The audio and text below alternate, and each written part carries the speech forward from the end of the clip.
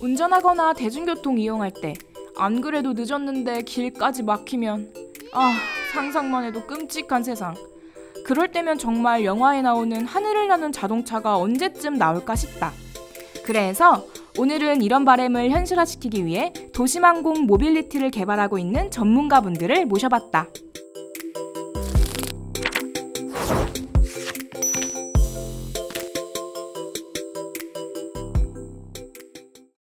네, 안녕하세요. 안녕하세요. 안녕하세요.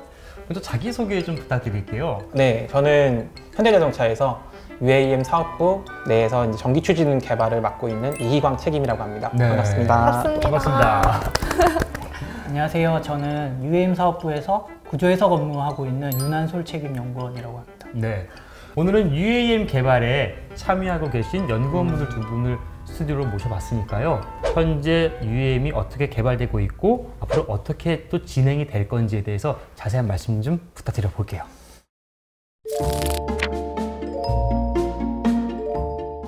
그럼 먼저 UAM이라고 불리는 이 도심형 항공 mobility가 정확히 어떤 건가요?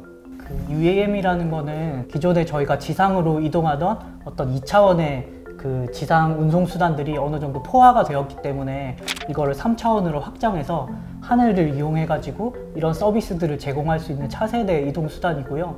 쉽게 말씀드리면 이제 하늘길을 여는 차세대 교통 수단이다 그렇게 생각하시면 될 것 같습니다. 음, 그러니까 여행할 때 타는 항공기가 아니고 서울 마포구에서 송파구 정도의 거리를 오고 갈 때 타는 소형 항공기라고 생각하면 될까요?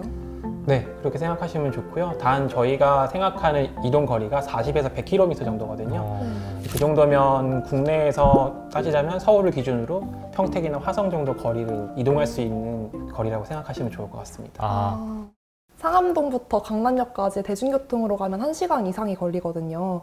비용은 일단 제외하고 UAM으로 이용하면 시간이 어느 정도 걸릴까요? 저희가 CES에서 그 전시했었던 SA1 모델이 순항 속도가 시속 240km 정도 되거든요. 아마 말씀하신 거리가 한 20km 정도 되는 것 같은데 그러면 저희가 이륙하고 착륙하는 시간 같은 걸 고려하더라도 15분 정도면 갈 수 있을 거라고 15분이요? 생각합니다. 네. 말문이 막히네요. 급한 일 있어가지고 상암동에서 정말 부랴부랴 택시 잡고 강남역 갈 일 가끔씩 생기면은 네, 운전을 해도 1시간 정도 걸리거든요. 15분이면 엄청 빠른 거 아닙니까, 진짜로? 이게? 좀그 시간이 정말 황금이신 분들에게는 굉장히 유용한 교통수단이 될 걸로 생각합니다. 네. 또 자동차 같은 경우에는 이제 도로를 따라서 달려야 되지만 이 하늘을 나는 것들 같은 경우에는 도로라는 제한이 없기 때문에 서로 부딪히지 않게 경로만 잘 조절한다면 음. 같은 고도에서도 굉장히 자유롭게 여러 대가 날아다닐 수 있거든요. 그래서 그런 부분에서는 확실히 이점이 있을 거라고 생각합니다. 아, 신기하네요. 항공기도 그 노선이 있잖아요. 네, 그 노선을 안 겹친다고 제가 얘기 들었는데 그렇게 생각하면 되는 거죠. 네, 아, 노선이 정해져 있고. 음. 개인용이 아니고 대중교통용으로 먼저 개발하는 이유가 있나요? 어, 그 부분은 사회적 분위기가 개인 소유를 하는 것보다는 구독종자나 공유 경제로 트렌드가 바뀌는 부분이 있고 음. 이런 부분은 이제 모빌리티 분야에서도 마찬가지로 나타나는 부분이거든요. 네. 그러다 보니까 지금 개발이 되게 되면 굉장히 고가가 되는 이 비행체를 음. 개인이 소유하는 것보다는 에어택시와 같은 대중교통으로 이제 활용을 하면서 기존의 이제 대중교통과 연계하는 토탈 솔루션으로 제공하는 게 다양한 측면에서 효율적으로 저희가 판단했기 때문입니다. 음. 그딱 봤는데 정말 엄청 크더라고요. 내 거라고 치면은 이거 어디다 보관을 해야 되지? 그런 생각도 좀 들긴 했었어요.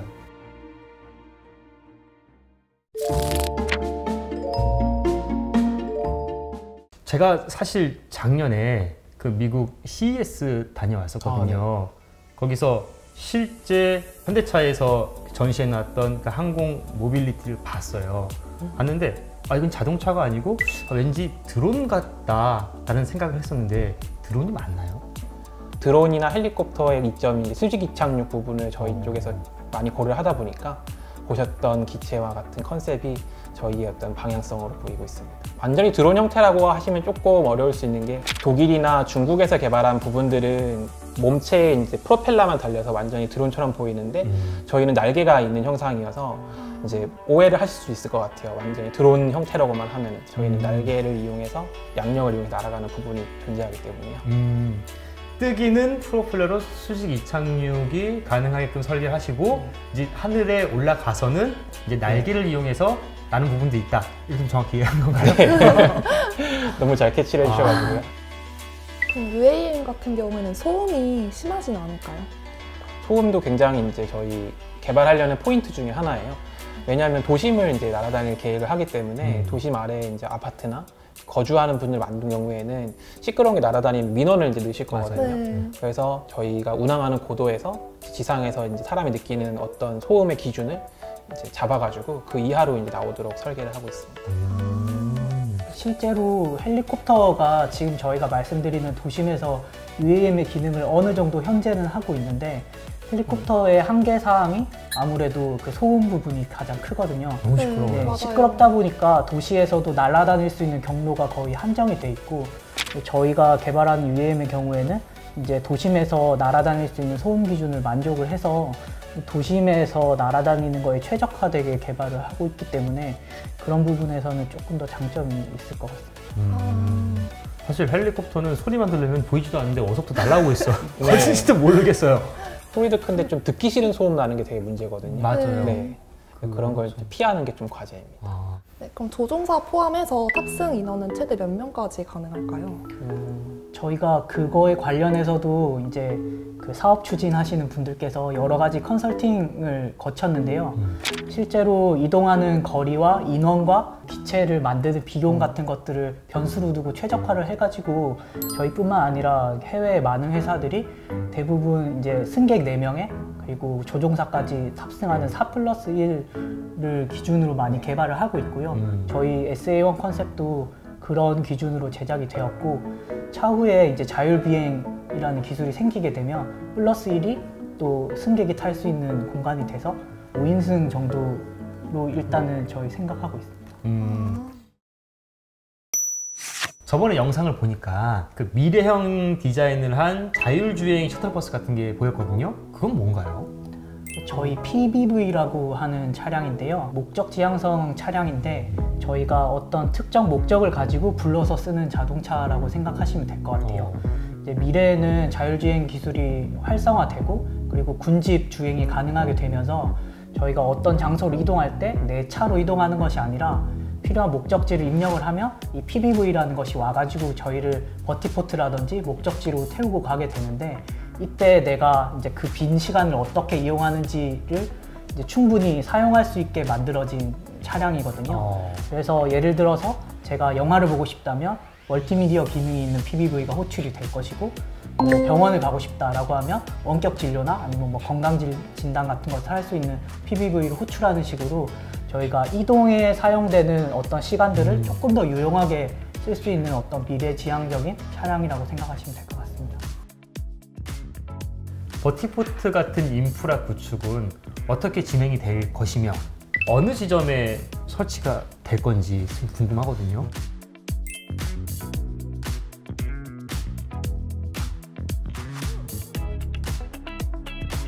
현대자동차가 가지고 있는 장점 중에 하나가 그룹사에 이런 인프라들을 구축할 수 있는 계열사를 가지고 있는 거거든요. 음. 건설이라든지 토목이라든지 음. 그런 것들을 제공할 수 있는 회사들이 있고 그런 곳들이랑 다 연계해가지고 인프라 관련된 것들도 같이 고민을 하고 있고요.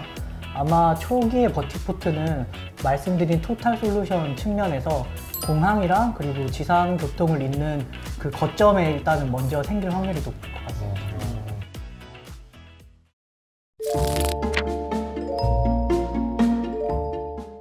많은 분들이 가장 궁금해하시는 질문인데 이게 상용화 되려면 언제쯤 가능할 걸로 보세요? 음, 상용화 부분은 저희도 다양한 연구 기관들이 나온 자료들을 분석을 하는데요.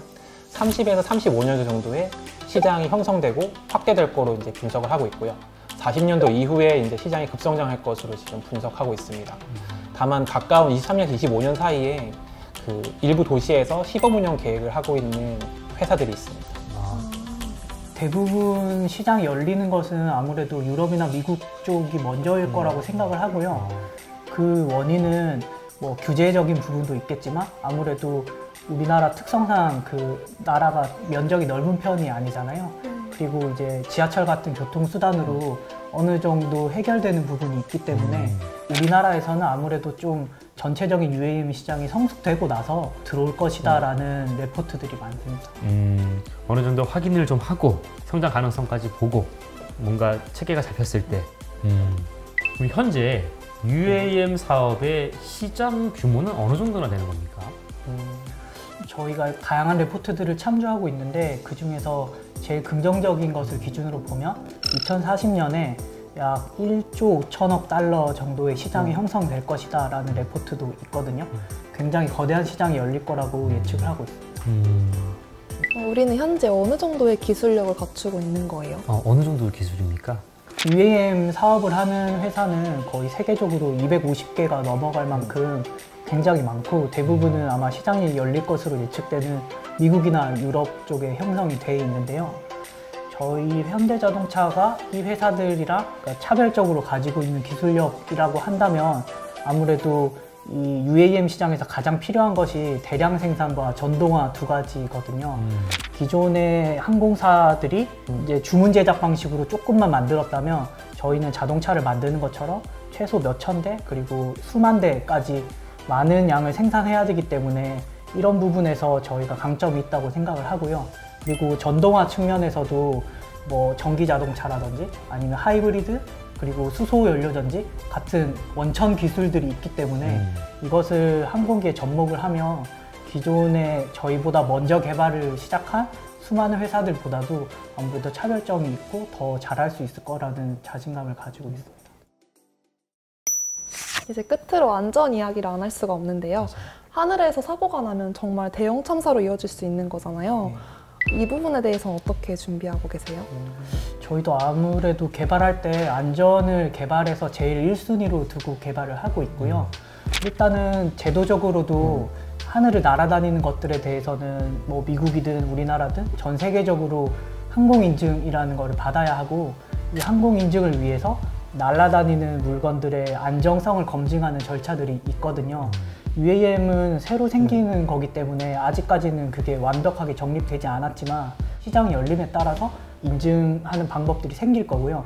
저희는 그거를 최대한 맞춰가지고 만들려고 일차적으로 노력을 할 거고 그리고 저희 현대자동차 자체에서도 이 안정성 부분에서 좀 더 기술적인 어떤 방법들을 많이 고민을 하고 있는데 첫 번째로는 저희 컨셉에서 보시면 아시겠지만 분산 추진이라고 해서 여러 개의 프로펠러를 이용해서 날아오르거든요. 네. 그러면 이 중에 하나가 고장이 나게 되더라도 나머지 것들로 이 비행을 유지할 수 있는 어떤 그런 것들을 어. 제일 핵심 기술로 생각을 하고 있고요. 그거 외에도 저희 경비행기 같은 데 적용되는 그 비행기용 낙하산이라든지 네. 아니면 인프라 측면에서 고민하는 비행 경로 중간에 비상 착륙 위치를 만든다든지 음. 그런 것들을 여러 가지 시나리오를 분석해서 안전도를 좀 높일 수 있는 방법들을 계속 고민을 하고 있습니다. 음. 두 분이 이렇게 나와주셨는데 우리 공식 질문이거든요.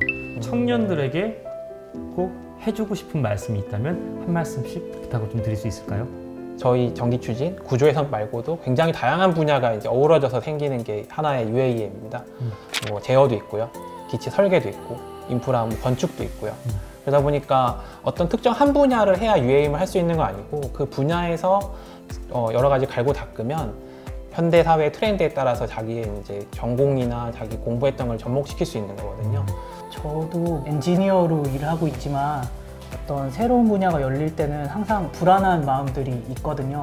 트렌드가 바뀌고 일이 뭔가 새로운 것들로 바뀜에 따라서 내가 하는 일이 혹시 없어지진 않을지 아니면 뭔가 내가 새로운 것에 잘 적응할 수 있을지 많이들 고민하실 텐데 저도 그런 고민의 단계에 있지만 저희도 자동차 업무를 하시다가 이쪽으로 넘어오신 분들을 보더라도 자동차 제어 잘 하시는 분들이 비행 제어도 금방금방 잘 하시게 되고 굳이 엔지니어뿐만 아니라 어떤 분야든지 잘 하는 사람들은 어딜 가서도 잘 한다고 생각하거든요.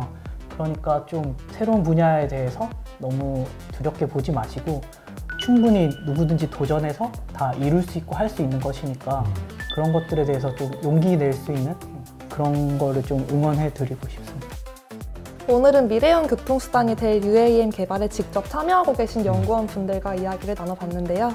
수년 내에 시범 운영을 목표로 하고 계시다니까 저희도 기대해 보겠습니다. 오늘 함께 해주셔서 너무 감사합니다. 네, 감사합니다. 감사합니다. 감사합니다.